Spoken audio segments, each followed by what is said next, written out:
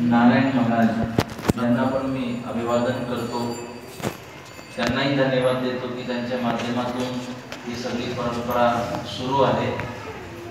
आणि सर्व आपल्या मंदिराच्या कार्यकर्त्यांना पण मी धन्यवाद देतो. सर्व ग्रामस्थांना मी धन्यवाद देतो की सगळ्यांच्या सहकार्याने ही परंपरा सुरू आहे. या पुढे पण कायम ही परंपरा सुरू राहिली पाहिजे अशी आपण सगळ्यांनी प्रयत्न करूया. तुम्हाला सर्वांना खूप खूप धन्यवाद खूप खूप आशीर्वाद.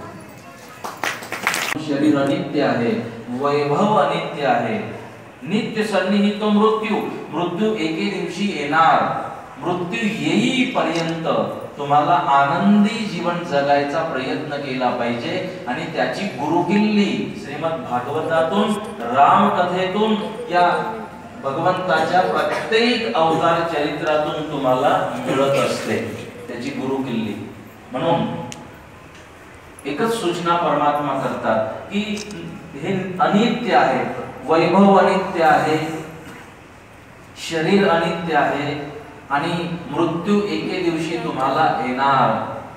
मग आता एवढं जर लक्षात आलं तर ते सूचना करतात की आता ह्या झाल्या सोडून ज्या गोष्टी जायच्या आहेत त्यांची चर्चा झाली. हे सगळं तुला सोडून जावं लागणार हे तुझं नाही. पण देव म्हणतो कर्तव्यो धर्म संग्रह. तू धर्म संग्रह करायचं कर्तव्य कर. कारण आतापर्यंत ज्या गोष्टीची चर्चा झाली त्या तुला सोडून जाव्या लागतील. पण तू जर धर्माचा संग्रह करून ठेवला तर तो संग्रह मात्र मृत्यूनंतरही तुझ्या सोबत येईल.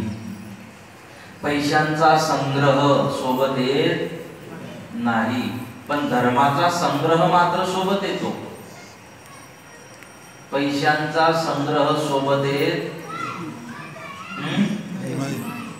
पण धर्माचा संग्रह सोबत असं तुम्ही म्हटलं आता नाही पण आणि येतो पण. असं कोणी म्हटलं? तुम्ही.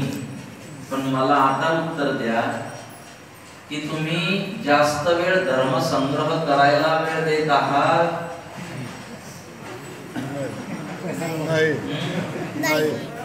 की जे सोबत येणार नाही ते संग्रह करायला वेळ देत आहात? तुम्ही सांगितलं आधी की पैसा सोबत येत धर्म सोबत येतो हे तुम्ही सांगितलं. पण करतो काय आपण?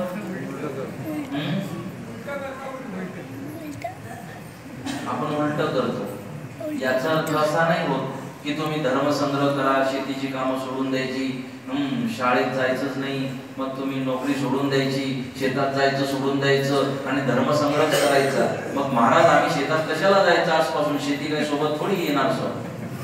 ते असूनही सर. देवाचं देवाला म्हणणं वेगळं आहे. की शेती करायचीच आहे लग्न करायचंच आहे संसार करायचाच आहे नोकरी करायचीच आहे. पण हे सगळं करत असताना परमेश्वराने दिलेली मला ही नोकरी आहे प्रामाणिकतेने मी करणार आणि सगळं करत असताना परमात्मा मी तुझी आठवण घेऊन करणार. आणि हे सगळं करत असताना मी काही वेळ काढून धर्मसंग्रह सुद्धा करणार. संसार करणे चुकीचं नाही पण संसार करत असताना देवाचा विसर पडणं चुकीचं आहे. संसार चुकीचा नाही. परंतु आम्ही संसारात एवढं आसक्त होता कामा नये की संसार ज्याने बनविला त्याचाच विसर पडेल. म्हणून आम्हाला शेती पण करायची आहे संसाराची पण कामं करायची आहे पण काही वेळ काढून आम्हाला परमार्थही केला पाहिजे कारण तोच परमार्थ फक्त आमच्यासोबत येतो. नाही तर आयुष्यभर अशा गोष्टी एकत्रित केल्या की त्या सोडून जाव्या लागतायत. मग आपण केलं तरी काय? मग आपण कमाई तरी काय केली? म्हणून बाकीच्या गोष्टी जीवनाच्या जीवन आहे तोपर्यंत तुम्हाला सुख देणार. शेती जीवन तुमचं शरीर आहे तोपर्यंत सुख देणार. पैसा शरीर आहे तुम्ही जिवंत आहात तोपर्यंत सुख देणार. घर राहण्यासाठी खूप चांगलं घर आहे ते तुम्हाला तोपर्यंत सुख देणार. जोपर्यंत जिवंत आहात मृत्यूनंतर तर घरची मंडळी पाचव्या मिनिटाला म्हणतात बांधा घराच्या बाहेर काढा नाऊ घाला आणि पटकन पोचवा. हम्म? याचा अर्थ की म्हणजे हे सगळ्या गोष्टी भौतिक गोष्टी तुम्हाला जिवंत असेपर्यंत सुख देणार.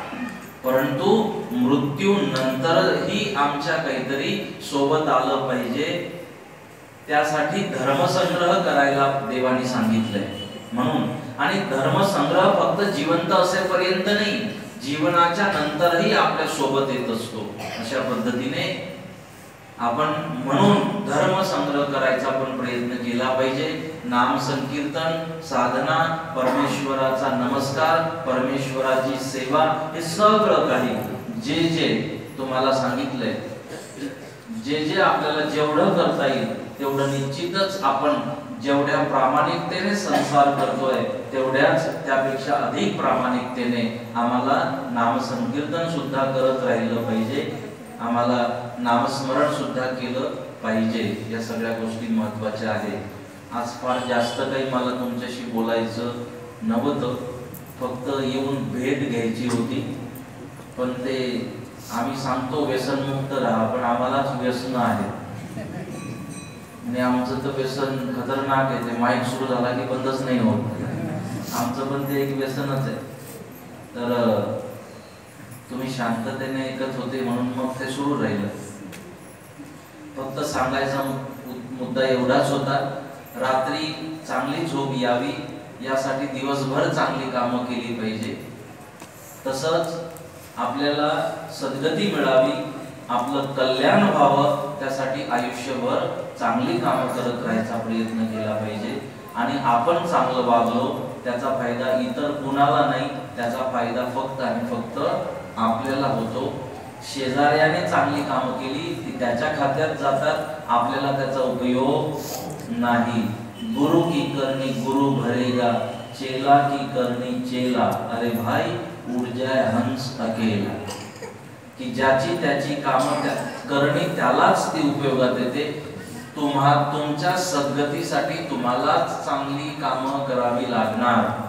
मग आता चांगली कोणती वाईट कोणती माझ्यापेक्षा तुम्हाला जास्त माहिती.